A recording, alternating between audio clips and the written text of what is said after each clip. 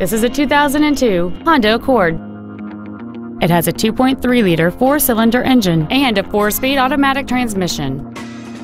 All of the following features are included. A power moonroof, a double wishbone independent front suspension, cruise control, a CD player, an engine immobilizer theft deterrent system, a passenger side vanity mirror, front and rear floor mats, child safety seat anchors, air conditioning, and aluminum wheels.